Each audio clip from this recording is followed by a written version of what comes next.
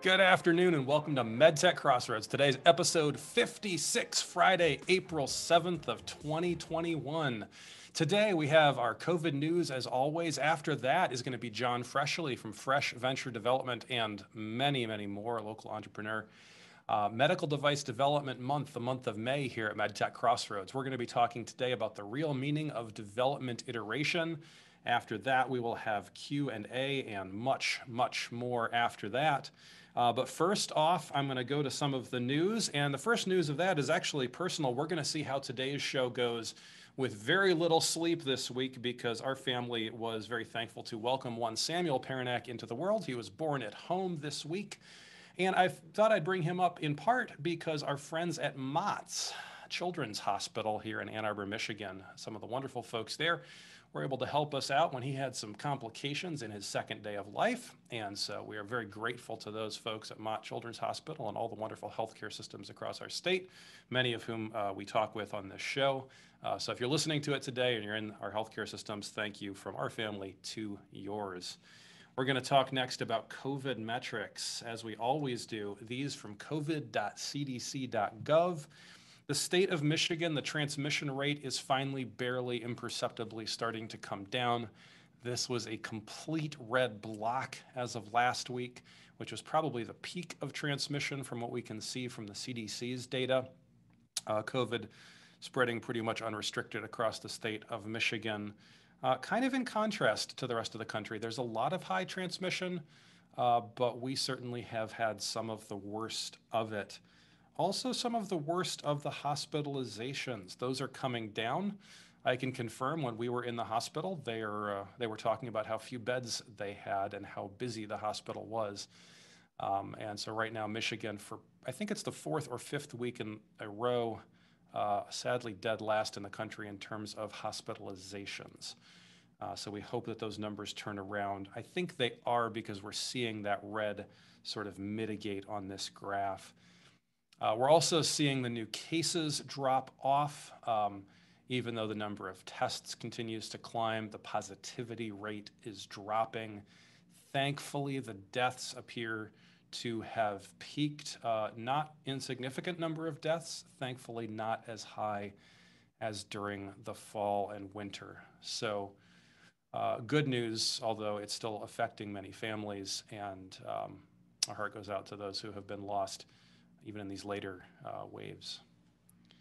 Here's what it looks like in terms of the demographic. As we've been noting, it's really those 40 through 69 year olds that are carrying this wave in comparison to the older uh, generation that was in the first wave that we saw in the fall. And uh, the good news is that for the last few weeks, this also has been coming down. This again, hospital admissions as a representative number of the impact of the pandemic? Well, there's definitely a trend in the world of vaccinations. You've heard all about it. And of course, you can see it here in the bottom right. The vaccinations trending downward pretty dramatically. Uh, seems to have reached a peak uh, in the beginning of April and now dropping off. Uh, the country, um, different states of vaccination. Um, Michigan certainly not leading the way. Interestingly, uh, some real density there in the Northeast and uh, in the upper Midwest, uh, Wisconsin, Minnesota, et cetera. That is the COVID news. I want to tell you also about the Ann Arbor Biosocial, a monthly gathering of the Ann Arbor area biotech community. Matthew Himes, of course, has been on the show. The next installment of that is coming up. It's presented by MichBio, Ann Arbor Spark, and MyLead Consulting. The next gathering will be virtual at Tuesday, May 11th uh, that's next week, Tuesday, from 5 to 7 p.m. If you want to be a part of that, you can register at michbio.org slash events. It's been really fun. I've been to a few of those, and they are great uh, events. Uh, even better in person. We really enjoyed those a couple of years ago. Hopefully, we'll get back to that eventually. Uh, but right now, you can join Biosocial next Tuesday, May 11th, through michbio.org slash events. And since our newest son isn't ready to uh, take this job, we're still looking for an embedded systems developer, microcontroller firmware and user interface software development and system design. Uh, still, that position remains open, and so submit resumes and contacts uh, to us here at Into Being, you can send them to info at intobeing.com. Another reminder about our quarterly pitch party coming up at the end of June, $2,500 prize. Our judges, Andy, Nikki, Jim, and Stacy, uh, they'll actually be back with us at the end of May for an educational segment before we get to the judging at the end of June. And as always, if you know of startups that want to be part of this, they just have to be medtech startups anywhere in the United States. They get 10 minutes at the end of an upcoming show to pitch. Uh, the pitches should have areas of problem statement, vision, value proposition, team, milestones, business model, competitors, and their ask. And we're going to get a few of those startups, we're going to put them together. And as always, our judges will reflect on what they liked, what they didn't like, and ultimately tip their hat towards one winner. Another reminder that on the, on the Into Being website, you can now get to this section under webinars for the FDA education segments that we've done on the show. You can get to a whole list of those. Folks have told us that they love using them for education, especially when they're in mentor roles. They'll point students to these uh, segments, say, hey, Into Being's already talked about this. Why don't you go take a look? Those are free. Go use them. Go enjoy them. And this we will keep announcing as well MEDC is going to be at Medical Device and Manufacturing West. Uh, that's in August in Anaheim, California. Looks like that will be back in person. Really exciting news there. Gigantic show. I've been to it before. Uh, not to be missed if you're a startup, if you're a if you're a company looking for suppliers. MEDC is looking for folks in the optical instrument and lens manufacturing, electromedical and electrotherapeutic apparatus manufacturing, analytical laboratory instrument manufacturing, surgical and medical instrument manufacturing, surgical appliance and supplies manufacturing, dental equipment and supplies manufacturing, and ophthalmic goods manufacturing. They've got a deal for you. There's some grant funding available to get you uh, to that, to have you participate. They're hoping to host six small companies at the booth, targeting representation from different regions throughout the state. So, Tino or Mark would love to get a note from you if you meet those qualifications and uh, they would love to love to hear from you. So please use those emails right there and reach out. They want to find all these companies before June 1st. So go ahead and reach out to them. All right. With that, we are going to move over to the next segment of our show. Uh, if we can get the uh, if we can get the technology figured out right here.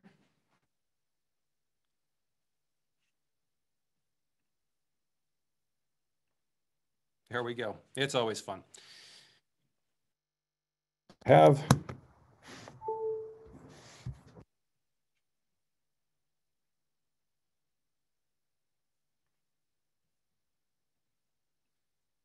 Well, apologies for that, folks. We did have a little technical hiccup there that seems to have happened the last couple of weeks. We'll try to get that fixed. Um, appreciate the uh, comment from uh, our friend Karen, who uh, says uh, that she uses the catalog of regulatory training. It's great for those new to med devices. So thanks, Karen, for that uh, check-in in the chat. As always, you know, if you want to check in on the chat or in the Q&A, feel free to pop in. It is, it is um, Zoom, so you've got that opportunity. You can do that anytime you want to. Uh, as we're doing our show, if the question is relevant, we'll bring it to our guest, um, and usually we do a Q&A at the end, so don't hesitate. Speaking of guests, my guest today is John Freshley with Fresh Venture Development. And as we said before, many other entities. John is one who actually deserves the title of serial entrepreneur, having been part of many uh, uh, local startups. Um, he is currently the president and owner of Fresh Venture Development and co founder and chairman of Bioscience Navigators. Um, I love how John says that he's focused on being helpful to scientists, founders, and or companies within the entrepreneurial ecosystems of Michigan and Portugal. And we're going to talk about that today as an advisor and or in interim leadership roles. Of course, he has names to his credit such as ONL Therapeutics, Compendia Biosciences. He currently serves as executive chairman of Curio Genomics, head of corporate development with Acelix Bio. The list goes on and on. John, welcome to the show. Thanks so much. Pleasure to be here. Thanks for the invite. Yeah. We're glad to have you. And that's not Michigan right behind you there. I confess it's not, especially when it's raining today. Uh, this is uh, this is the walk to the beach in Portugal, where uh, you know I like to think of it as my second office. after Gallup Park. So that's awesome, and uh, we're we're glad to have you in Michigan, and, and we're interested to hear later today in the in the talk about um, how Portugal fits fits in both the family history and also um, in terms of similarities to some of the ecosystem things that we see around here. So that'll be really fun. I'd love to have you, John, though, just start by telling us a little bit about your career history and what has brought you to the passions that you have and to the moment that we're in today, where you're, as you said, trying to be helpful to these uh, these cool companies that we see all over the place. Well, sure. Um, you know, you didn't prepare for this, Gene, but uh, uh, I'm a trained actor and writer, um, and uh, that's how I uh, it's a skill I, I, have used over the last 20 years. I think I've certainly I've been accused of using it from time to time. Um, but uh, I started with a real passion for science. It was physics. Uh, physics got really messy when it got quantum, and uh, you know I knew biology from high school, which was really messy, until it got molecular. And uh, mm. so I really fell in love with molecular biology about 20 years ago when I got hired into my first biotech company. Um, and uh, I was hired because they couldn't find anyone qualified, uh, literally. I had no industry experience, but they needed someone to do business development. And, uh, uh you know, and that's a little bit where Michigan was at the time. Um, you know, there were there were people around, but no one crazy enough to join this company. And, uh, you know, early without uh, much funding. And so, you know, over the course of my career, I've been unqualified for every job I've ever had. Um, but I love learning new things. I, uh, and I love learning new science more than anything. So uh, where I'm at today, I've kind of found a way where uh, I get to spend 90% of my time learning about cool stuff. And uh, yeah, never been happier. Uh, I've probably uh, made a lot more money, but who cares? Well, I think some of the most qualified people I've ever met, they all come, uh, someone on our team who coined the phrase, I have no idea what I'm doing, uh, even as she, you know, knocks them down and takes names the entire time. So I, it's, it's often a hallmark of folks that we love talking to who, uh, who admit what they do know and what they don't, what they don't know. And it usually puts them in a position to see some really cool stuff over the course of their career. John, you told me that you had um, recently done sort of a reflection tour um, on some of the focuses of your career and the things that you're passionate about and want to share. How would you summarize your conclusions? Yeah, I mean, I think, uh, you know, I, I resigned uh, my last CEO role uh, on the eve of my 50th birthday. Um, and I had opportunity to just rethink everything. And so I spent a summer uh, taking long walks, talking to a lot of people, uh, exploring things outside of biotech.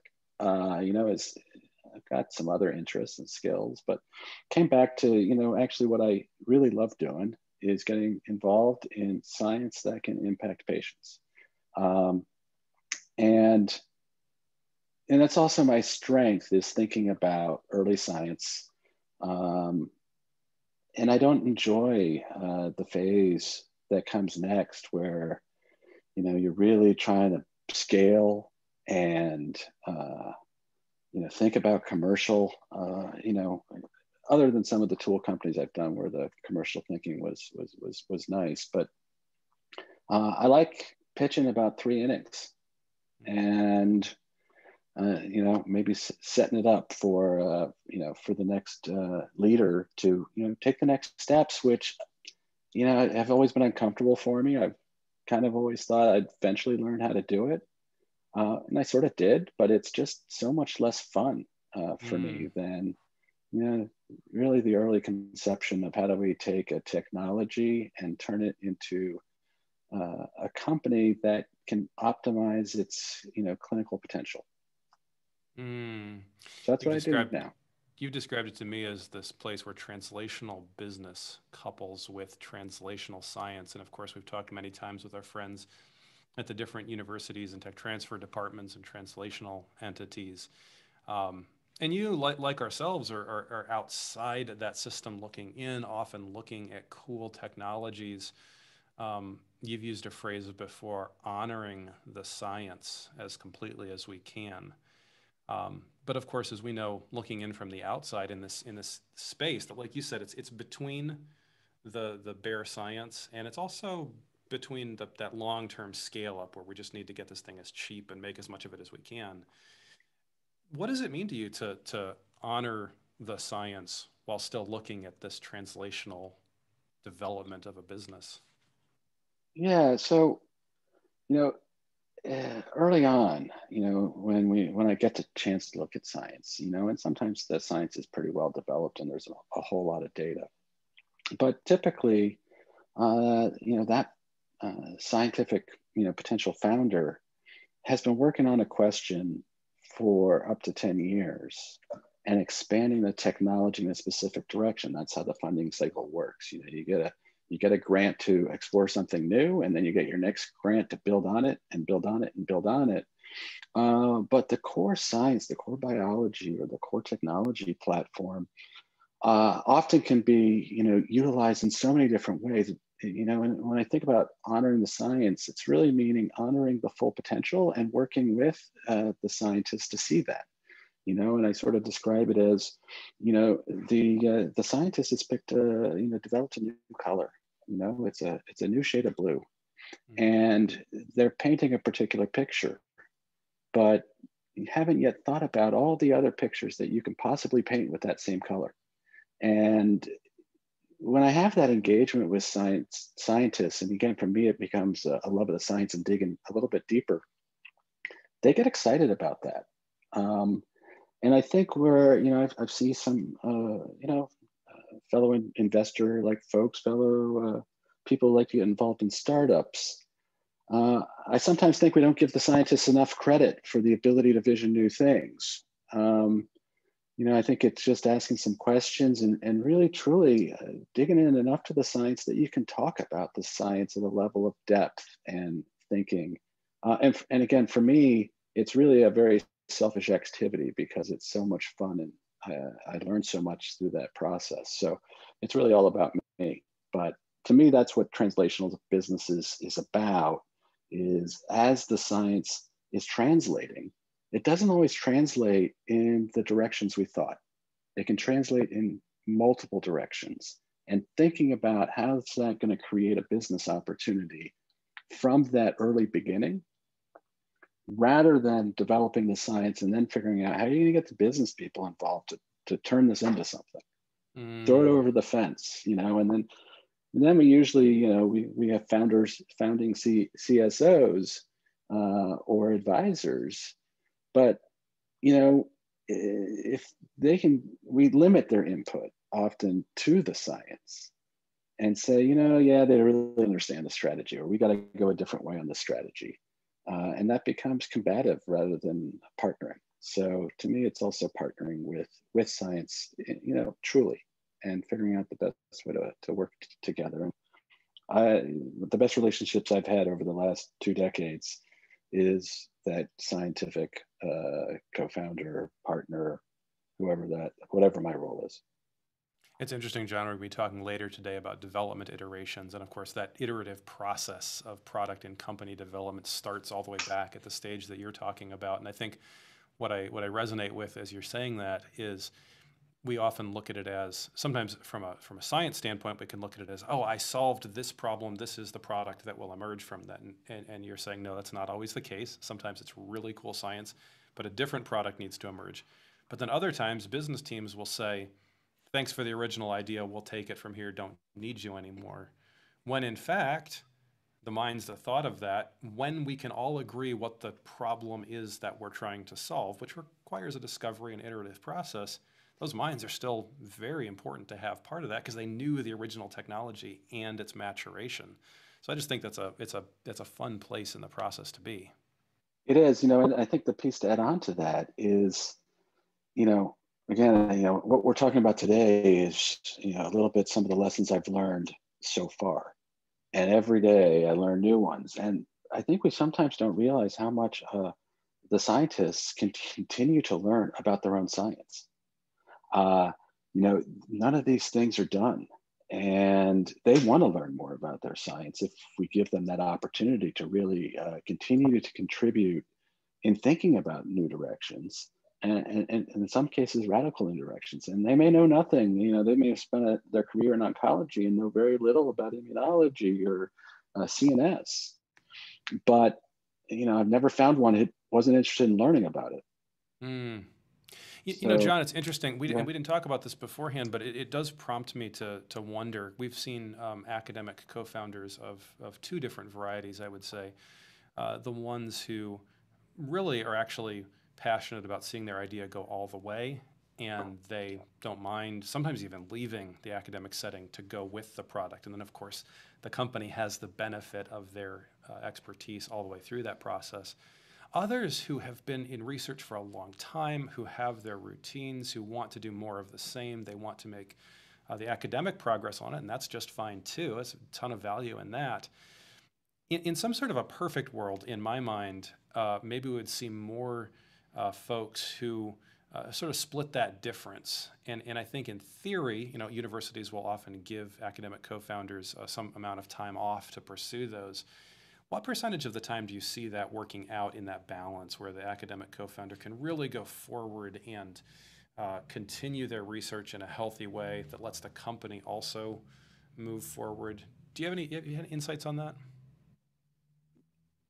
I guess my only insight is I don't think it matters. Mm. That part, it's not the amount of time, it's the amount of, uh, you know, I'm going to say emotional commitment. Mm. Um, so, you know, if the attitude is, I want to let this go so I can do something else, and that's okay, I guess. But I think it's actually hard at the beginning to have a, a founder. Uh, it's really not a scientific partnership but I've had great partnerships with 20% free time and a full time job. Usually it's 20% after time um, or 100%. And it, it, really, I think, is a, a mindset and a commitment to that piece of science, even though they may have other science that they're pursuing. Mm, that's a good perspective. Just the willingness there, how it turns out. Yeah. You know, on the flip side, I've also seen 100% commitments or 100% time commitments that aren't 100% uh, emotional commitments. And, you know, it's, uh, you know, people who like the idea of doing a startup, but is it really, are you really committed to that science? Uh, or, you know, this is the only way I can find funding for this startup, for, for my science. Like this is a funding opportunity, not actually a taking this to clinical impact opportunity. I just want to keep my research going. Mm. So seen it both sides. Yeah, that's really cool. Your your um, your point about seeing uh, the, the the color blue. The color blue has many uses, and someone may say, "Well, this is the use that I see for the color blue." We've got a a great legacy um, of companies in Ann Arbor that have that have sort of had to make those kind of pivots and and done well by doing them by recognizing that the color blue right. was good for more than than we thought. Uh, we were chatting offline about uh, David Olson um, and Jen Baird with uh, with Accuri cytometers as, the, as that progressed through many uh, different um, ideas and, and iterations, but um, a success nevertheless. Absolutely. Yeah. Open open mind is an asset. Yeah. Well as you are looking at helping companies um, in these many different roles and i'll have you talk in a, in a little bit about the different roles that you have and um, you know who who should be reaching out to you in which role to, to talk about which uh, which thing. But you have a very interesting perspective on uh, when you approach an idea and a company you try to think about a few different things because I mean everybody's baby is beautiful, right? Like everyone thinks their baby is beautiful. I just posted a picture of my baby at the beginning of the, at the beginning of the show. Right, right, but right. Those of us who've seen a lot of um, a lot of startups and a lot of ideas, especially early stage, we know that some things have to be present, and we've talked about many of those on the show. But you you and I, when we were talking, you had some very interesting perspectives on. Um, how much innovation could be present, how many innovations we're willing to bite off in one chunk if we're truly to be successful. Yeah, I may need to, you to clarify a little bit, but I'll take a stab at, at, at what I think you're you're aiming for. Um, is uh, you know there's well there's certainly a lot beyond the technical innovation, the scientific innovation. Uh, when I think about building these things, you know, and and certainly it's it, it is always interesting how you know scientists trained deeply in science and statistics uh, forget about you know that things uh, tend to come back to the mean. So not all ideas can be that brilliant. Um, you, you know we need to be honest and take a look hard and you know also again it's not is it the technology or is it the application? You know where where are we regressing to the mean potentially? Uh, so if we can take it in a new uh, direction we we can uh, really excel and, and and beat the odds right? Because the odds are not good in this industry. The odds are awful in this industry. But i also think that um, you know, early at conception, we think about the technology is what we're selling. And, you know, we can go all the way back to, uh, to Geoffrey Moore, you know, probably five decades now, uh, and the idea of uh, crossing the chasm and the whole product. And the whole product for these early stage companies is the investment story. That's what we're selling. And so if we think about the whole product, it's the technology, but it's the technology plus. It's the technology plus the team that's going to be able to execute it. It's the it's the technology plus all of the inherent risks, and which of those risks have been able to be uh, reduced. They're never going to go away, but which of those have been been mitigated because most technology investors are willing to take one risk. In, in the drug development space, they're willing to take the risk on the clinical trial as long as you've reduced all the others. You know, they're willing to take that one risk. So that's part of the whole product is understanding that and making sure everyone understands that. Um, so, you know, I, again, that's sort of, uh, if that was what you're getting at, I think, you know, that's a perspective, but investors know that things regress to the mean. So you, you, you got to make sure that you're addressing what's truly differentiated and what, you know, whether you truly have uh, a high probability of success, and not everyone can have a high probability of success.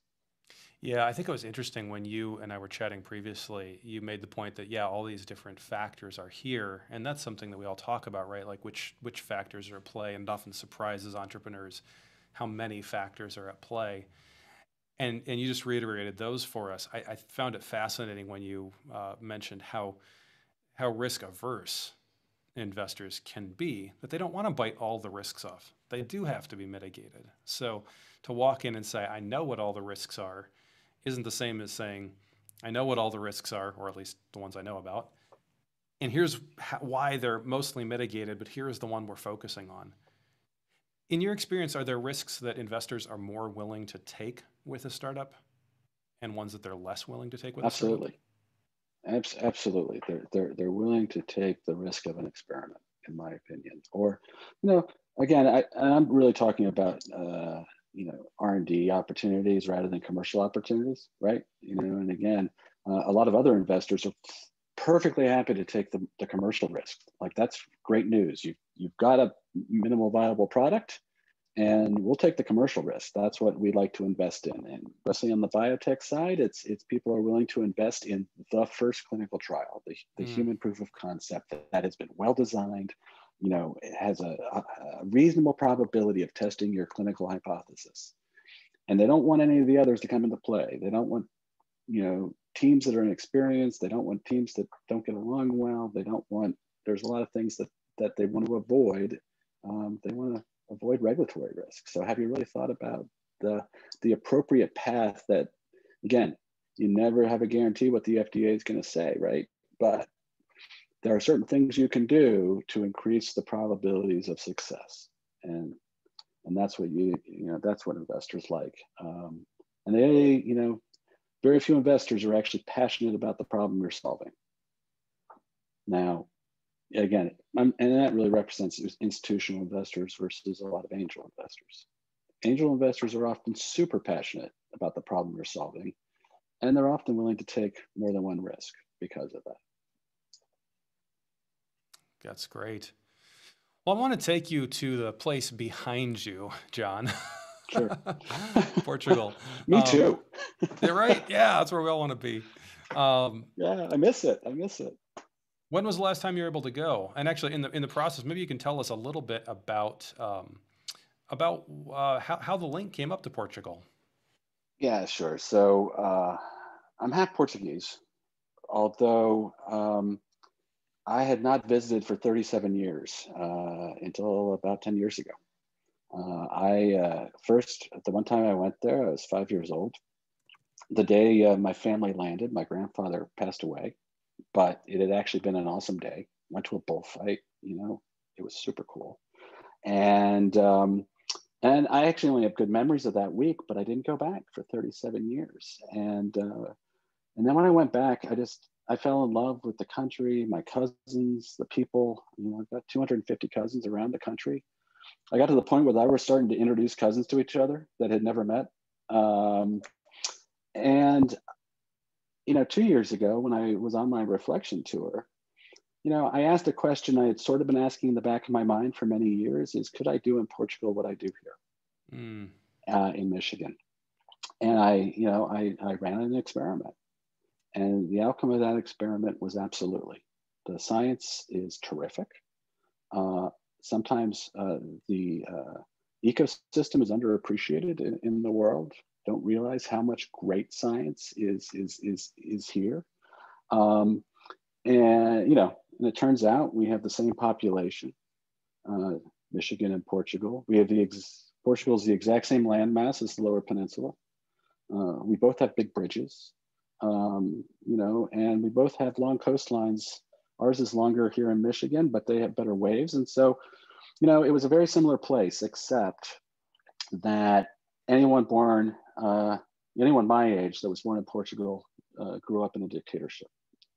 So, you know, the idea of capital, private capital, and entrepreneurship is is new. Uh, it's only you know a generation and a half old. Um, so that's an ingredient that that that that hasn't been present in Portugal, but it also has reminded me of what happened when I arrived in Michigan in 1999, mm. and someone was desperate enough to hire me uh, truly, you know, and and, and uh, you know we've seen such amazing progress uh, in, in, in access to capital and access to talent. To some extent, thankfully, Pfizer and Pharmacia closed. What a, an incredible opportunity for the region, and they've mm. taken it. I think, um, and you know, so I, I see Portugal as a couple decades behind, but with the same potential that I see in Michigan, which continues to grow and continues to get more recognized as a place to do things like we like to do. That's huge. And you had made some comparisons in terms of landmass and in terms of population and everything else. And you wouldn't think of a, of a country like Portugal that had gone through so much politically as being a place where that potential would be there. And yet, maybe the potential is even greater, right? Because you're, you're dealing with some place where people are hungry to get these kinds of uh, innovations out there. Yeah, I mean, the enthusiasm is incredible. And I actually, you know, there's a lot of energy, there's a lot of enthusiasm. But, but when I gave a talk there, I, I asked a, a group of about 100 people how many people have been at biotech, and a lot of hands went up. How many people have been in two? About 10. By the time I got to three, the answer was zero. You know, and at the time I got to share that I failed six times. You know, I've, I've learned a few things um, and uh, you know, and that makes a difference. But uh, you know, I see the same energy and enthusiasm uh, coming out uh, of our universities in Michigan, but we are again at, at, sort of the danger of having a generation gap. Uh, the Pfizer generation is getting old, old, you know, like me, right? And we haven't had a lot of that next generation of leadership growing up. We've had jobs, we've had sort of staff level uh, positions, but we are lacking, especially in life science. And I, I can't, you know, or in biotech, I can't speak as much to, to the other uh, subsectors, but in biotech, we've had fewer, we have, you know, I got my first CEO job when I was uh, still in my 30s, and we don't see a lot of biotech CEOs in their 30s. And so, you know, again, when I think about being helpful, it's a lot of mentorship, you know, and I, I really want to work with not only these uh, these technologies, but with the people who are going to be the, the future of Michigan life science. It's a great call to action, John, because I think we get complacent in any generation where we are. And I know, you know, you referred to the Pfizer and Pharmacia um, changes as being as being good things. That's the vision of someone who says, of course things are going to change. What new opportunities has this created for us? And I, I see you now sort of saying, we made good on those on those opportunities but that's not going to th- that potential isn't going to be there forever because that generation is is going away. So what's the next what's the next thing? What's the big disruptive thing that's going to allow us to to leap into the future? Yeah, any vision any even, vision for what that is? Well again i'm I, i'm i'm not convinced that we need something disruptive like that. Mm. and i you know in many ways i know that was impactful on a, a, a lot of people in ways that were hugely uncomfortable um, but it, it, it, created a platform which we need to continue to develop, right? Mm-hmm. So it actually, in that sense, you know, we have an opportunity to be a little bit more evolutionary than disruptive. There will be other things that will certainly be disruptive. Um, but if, I think if we're kind of aggressive in our mentorship and our recruiting people back to Michigan, and we have enough of an ecosystem so that people can fail and still stay in Michigan. Again, you know, what are the things that you need for people to to take a take a risk on Michigan, right? Mm. That's an mm. entrepreneurial risk right there. If you're coming from San Francisco or Boston or you know one of these hotspots, you know you're taking a personal risk not only in the science but on Michigan itself. Um, and you know how can we mitigate that risk for people? And how can we make sure that the mentors are going to be there and the other opportunities are going to be there? And so i think we have an opportunity to not be disruptive in this talent need. Mm, just to continue to grow what has already been started from that earlier disruption. yeah there's, there's so many good raw ingredients that that have been here. And now and again we've got young energy young enthusiasm. The science you know the scientists I engage with that are young uh, are so creative, and the science the science they're learning and developing is so far advanced that you know we just got to give them an excuse to stick around here and learn from these elder statesmen we have now in the community that you know are didn't move with Pfizer to the coast for a reason because they love this community and mm. they would mm. love to contribute and and you know, and we see that. I see Jim Arthurs is on the call. You know, Jim is an amazing mentor to the next generation, and uh, I'm sure there's others. You know, again, I haven't seen the whole list here, but uh, you know, it's the type of spirit we have in this community, and we I think we just need to find some ways to to, to capture that in a, some sort of systematic way. Mm. There was a question here, and I want to want to address it specifically. David had asked um, about sure. a local university system, uh, working to build a campus based entrepreneurial ecosystem to bring in successful alumni and mentors and connect it to students and faculty. And specifically for that kind of a situation where a university maybe hasn't had that, and of course, many in the state have, have, have been working on those for a long time. And as new ones come online and say, yes, we, we want to do this really hyper locally and, and have this available. Uh, what advice do you give during the transition of building the technology versus launching the enterprise to commercialize the solution? How, if you, if you could do this from scratch with a new university ecosystem, what would be your first thoughts? Yeah, I think one of the, well, uh, you know, I'll say something really opinionated that I've had for about 20 years is the metric I hate the most in tech transfer offices and within the state is number of mm. companies started. Mm. So when I think about commercialization, is a company the right answer? Is a company the right answer for one technology at a time? Or should we early on think about how do we bring in additional technologies? Because in a company that reduces risk, right? You've got multiple ways to win. Um, so I think that's a big deal. And you know, and again, don't assume a company's the right path. Often, you know, we uh, we want to encourage these technologies through tech transfer to get out to a to uh, to a company, especially if the the scientist has interest. But we don't actually fully explore sometimes what are the license opportunities. Because I've I've never met a scientist who hasn't wanted to maximize the clinical impact of their invention. Mm. So really thinking a very open mind very early before too much emotional and early capital has been invested in this idea of we're going to have a startup company. We've actually launched one and we've raised 2 million of seed capital. Really hard to turn back at that point. Mm. You know, unless that was part of the plan, right? Unless we were going to say, oh, and we're going to merge into something bigger, you know, that's fine. But try to, you know, it's almost like uh, you can get these things to run faster if you move a little bit slower early on and you you know you, and get enough investment. Because i think the other piece to this is we're good at getting advisors but advisors can't dig in enough to really partner. So i, I mean i think this again I, I don't think you're looking at a two-year commitment from someone like me but you know maybe a three month commitment to like spend half my time, 100% of my time on, on one of these projects. And I'm happy to do that. I won't do anything full time or, you know, generally or uh, long term. But I love getting deep enough into a project that I can, you know, actually come out of that and say, I don't think it's going to work, or this really might work. We should, we should really take next steps. That for me is fun coming to that answer. The color blue should be used over here, not here. yeah. Or you know what? Ditch the color blue. I'm sorry. and sometimes that no is place, the right answer. Right. There's no place for it in this painting, that's for sure. You know, this whole conversation, and, and thank you, David, for the question, and John for the answer. Um, it makes yeah. me think. I've noticed over the years that some of our uh, university systems have some unique strengths. I think of uh, University of Michigan being exceptionally powerful in the research dollars and in the amount of IP generated. I think of our friends over at Spectrum Health being really, really good at getting inside the hospital system and finding out what's happening um, I've found our friends down at Notre Dame, right outside the uh, state of Michigan, um, being really good at taking business school students and shoving them right onto startup problems. And the list goes on and on and on.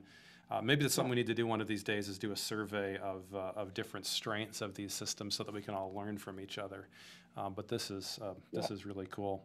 John, I want to have you take just a couple yeah, minutes here Oh, go ahead. So can I add one? Yeah, absolutely. It? Just to, to, give a shout out because you know University of Michigan gets a lot of attention deservedly, but one of the pleasures of the last two years is you know discovering how much great science is outside the University of Michigan mm. uh, in the other institutions, um, and it just takes a little uh, more work and looking and but you know, we've got founders, uh, scientists at Wayne State, at Michigan State that I've had deep interactions with that are so willing to to listen and partner and be coached and teach me. And uh, you know we underappreciate I think some of the other Michigan assets and we sort of do it you know politically. We got to let everyone play. The reality is is there's great stuff uh, everywhere uh, so we say inno- innovation is everywhere. It's not exclusive to any one geography or any one institution. Um, yeah, that's, that's very true. Appreciate that at times. And we see it out of uh, both our, our other universities, like you said, Michigan State, Lawrence Tech, uh, others, as well yeah. as um, other hospital systems. I think it's, is really cool because we see um, hospital systems that are dealing with patients every day and problems, and then they say, hey, we need something here, and they're entering that as well. Yeah, absolutely. And I know Oakland and Beaumont, you know, have you know really strong relationships, and uh, and there's great science there too. I just I haven't had enough impact, you know experience with it, but I can't wait to. So. Anyway. John, this has been phenomenal. I want to give you just one minute to tell us just a little bit about some of your initiatives so that people know uh, how or why to get uh, in touch with you uh, before we close the interview down. Sure. Well, I mean, the big initiative is, uh, you know, and I'm dedicated for the next 20 years, probably longer, to trying to have an impact primarily on drug development in Michigan, because that's my strength in many ways, but I also do some genomics uh, and in Portugal. So I might split my time. Um, but, you know, the primary question is, you know, can I be helpful? And I've sort of said I, I, I always uh, work on sliding scale, uh, like one of my therapists in the past, that was from uh, zero to a lot, depending on ability to pay. So I, I hardly ever turn down uh, an opportunity to chat, uh, only if I'm way too busy. And uh, so the only reason to reach out for me is if you're interested in having a chat that could end up being helpful and interesting to both of us, because you know I just want to learn cool stuff. Well, that's awesome. We've learned a few cool things today, John. Uh, maybe I'll have to reach back out to you when we want to do this little survey of, uh, of translational stuff. We, it'd be kind of fun to highlight some of the strengths around the state. That'd be a fun, uh, fun activity. Absolutely. It'd, uh, it'd be a pleasure. Well, thanks right. so much for having me on. John Freshley, thanks for being with us today. You bet.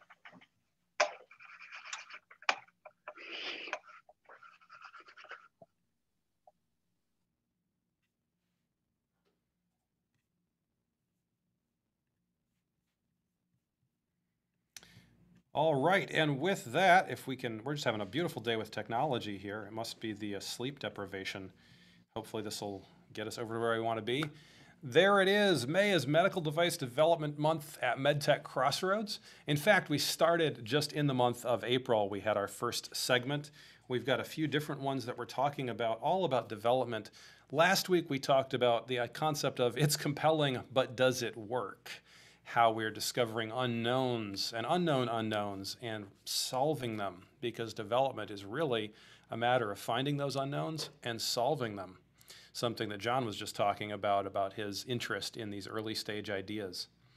Next, today we're going to talk about the real meaning of development iteration. Kind of a flashy title, but everyone's familiar with doing iterations on a product. And yet, no one seems to understand when is an iteration a good idea? When it is a bad idea? When am I saving time? When am I wasting time? Why can't I just go there all in one big step? Because it's all related to the question we're all asking in product development, which is, are we there yet? I've got kids and sometimes they in the car say, are we there yet? And everybody in a startup, in a new product development effort wants to know, when did we get to the goal or when will we get to the goal? But we have to ask this question where is there? This is a challenge.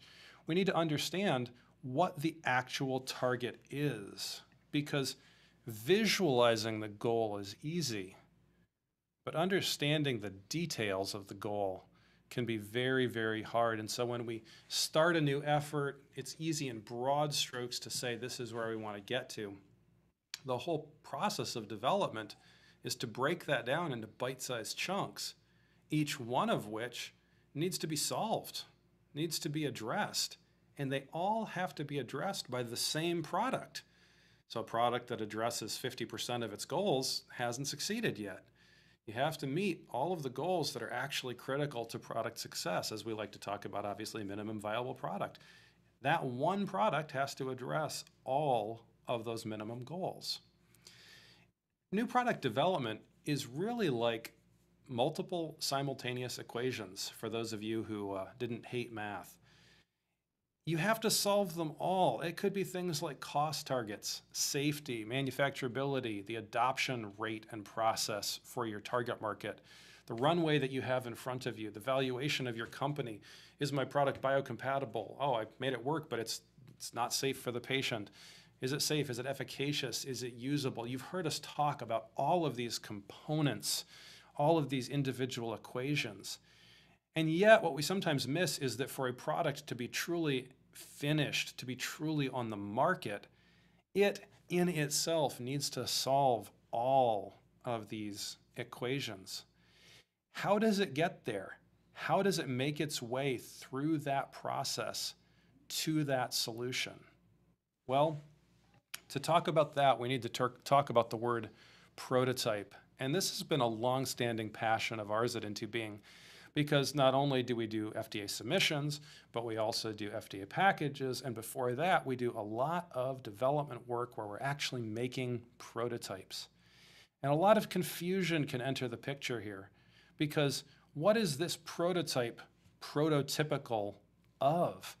Is it the prototype that's just going to demonstrate something in a dog and pony sense? Is this prototype going to allow us to go to human clinical trials?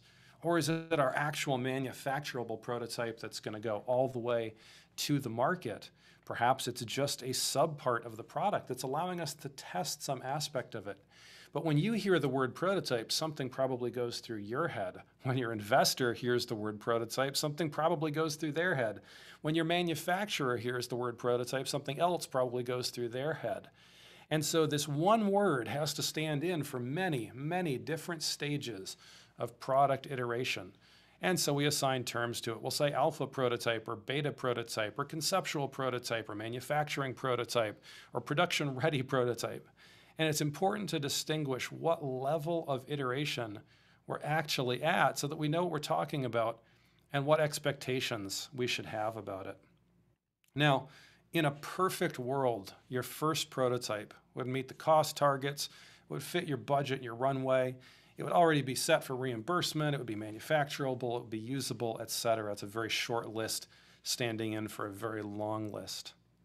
But in the real world, prototypes solve groups of targets and they mature towards meeting all of the targets. To miss this is to miss the essence of development.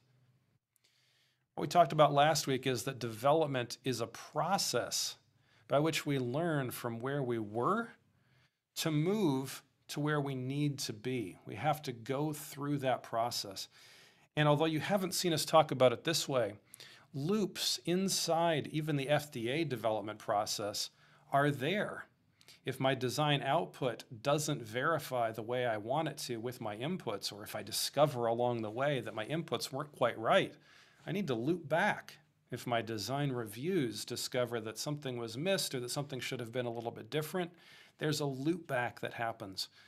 We don't like to get to validation and have loopbacks happen, but inevitably, as a product matures through its life cycle, even validation aspects may have to be repeated as the product changes.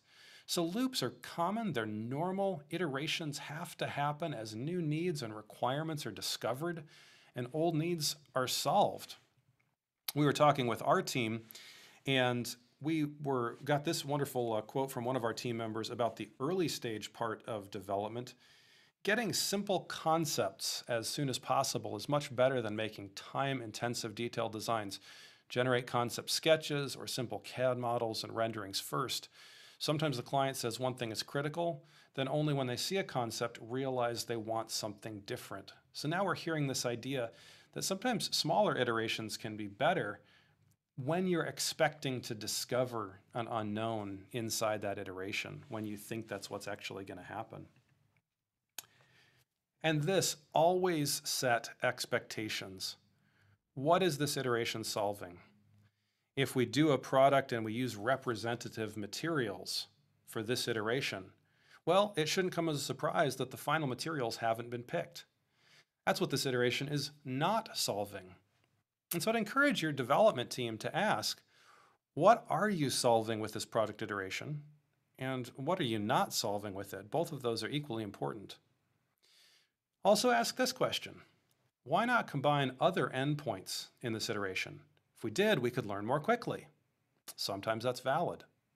Other times, the question should be, why are we combining so many endpoints in this iteration?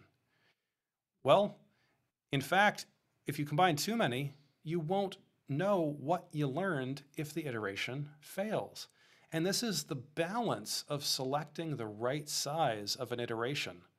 If you can combine variables that you can solve, well, go ahead and do it as long as you're not putting so many in there that when the result comes back in an unfavorable way, you won't have gotten anything out of that iteration. And this is something that your whole team uh, should be involved in. Your whole team should be asking, what is to our mutual benefit in this process?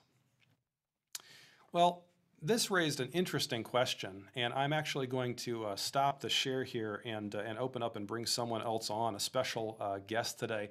But with this question, are fewer iterations uh, better? And what we're going to do is we're going to end the show and stop the share here so I can get back uh, to do a, a share.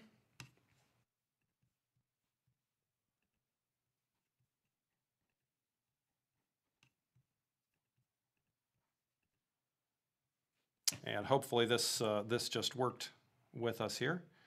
We're enjoying also technical difficulties today.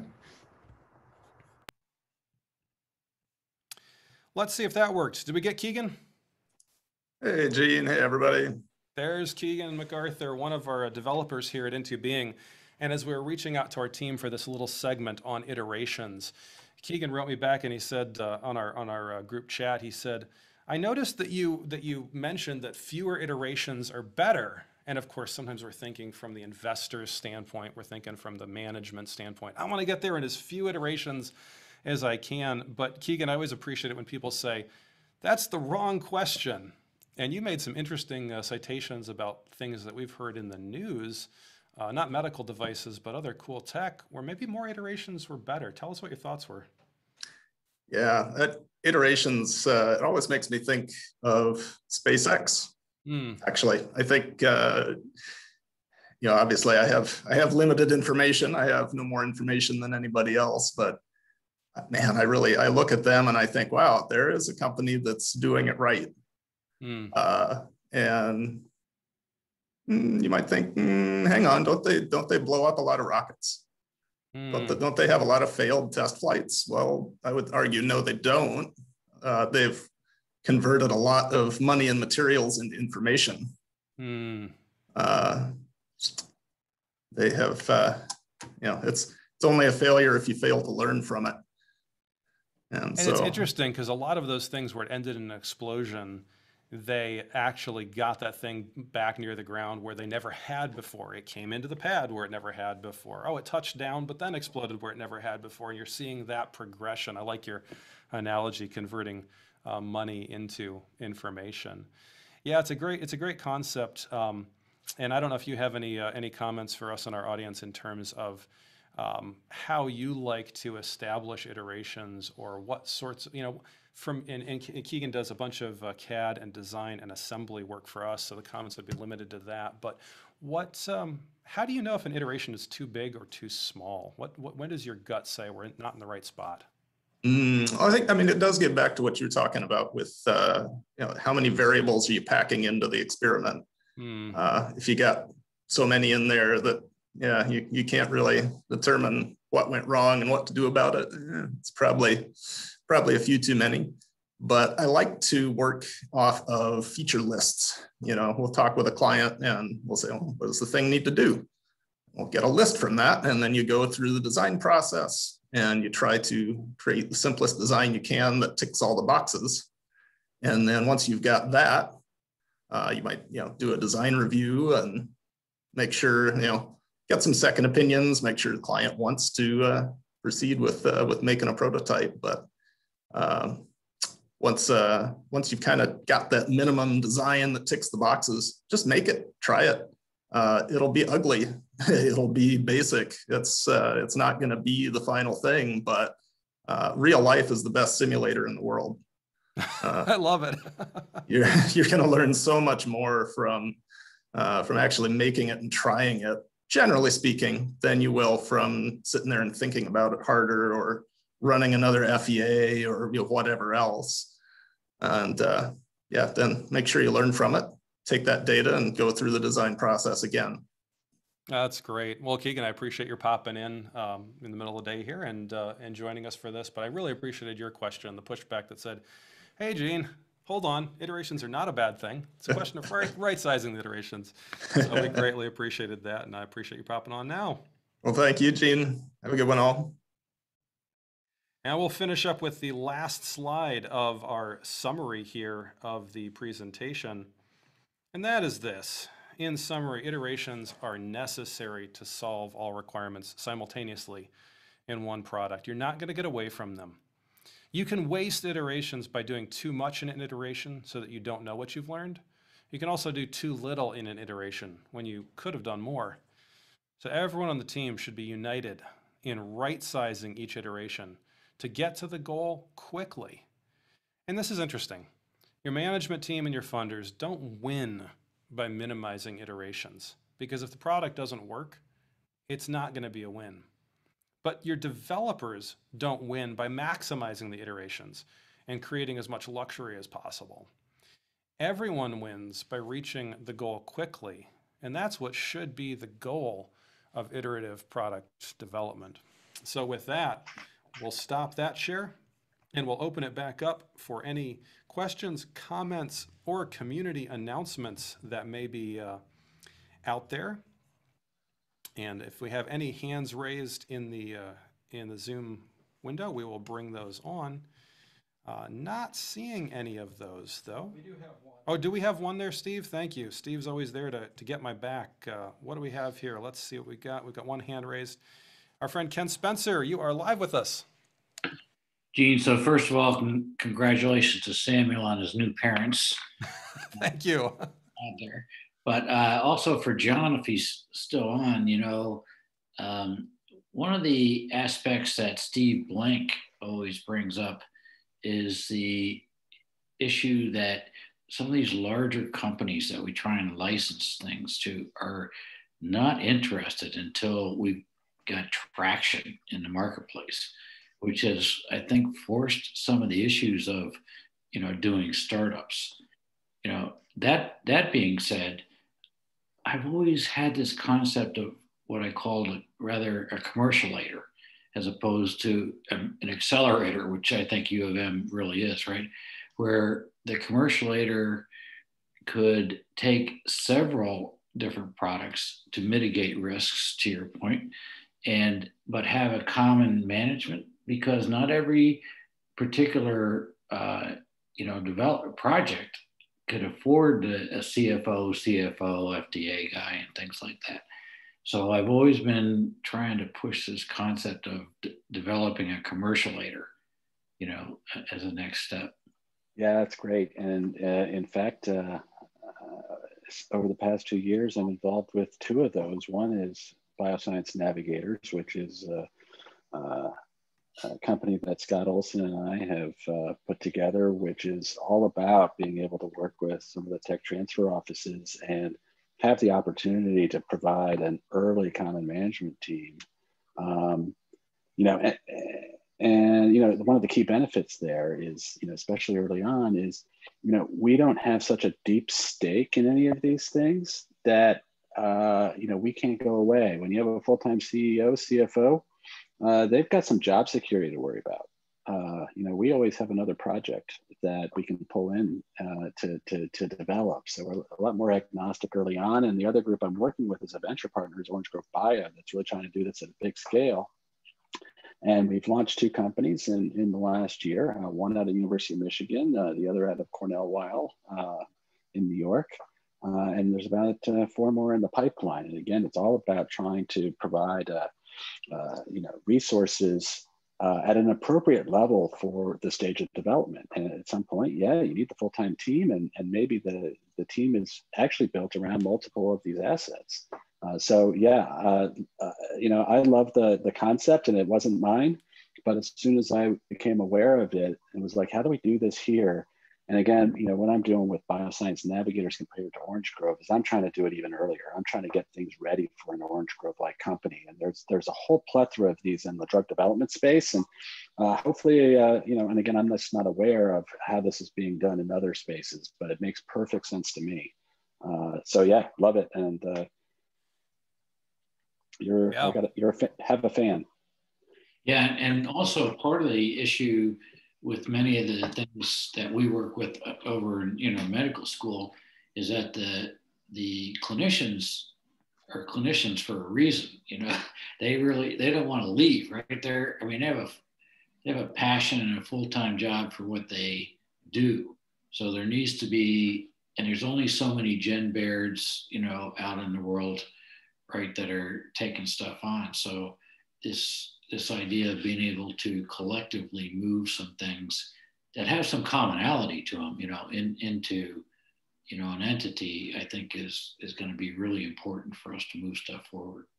Yeah, and you know, just to speak to that, uh, you know, especially in environments like like Michigan and Portugal that uh, you know have a underpopulation of crazy people, which I sort of describe as people like Jen and I. Um, so, you know, we need to sort of leverage these resources uh, across more great, great science, great technologies. Um, and, uh, you know, that's what I hope to, to be doing for the next 20 years. It's great, Ken. Thank you for the comment. John, thanks for popping back in. You bet. All right, and with that, we're past the top of the hour. I'll leave it open for 30 seconds in case there's any other questions, comments, or community announcements. As you know, we'd love to let folks know about what uh, you know that's going on in the community. Raise that hand if you've got anything. Otherwise, we are going to wrap the show and we'll look forward to seeing you next week. Everything in May is going to be about development alongside our guests as always. And the last show of this month, we're going to have our community judges back on to talk to us about what they don't like when they see a startup. We won't talk about specific startups, but we're going to ask, what do you hate when you see it? So that'll be a fun show at the last uh, day of the month, the last uh, Friday of the month. Other than that, thanks for being with us on MedTech Crossroads. We'll see you next week.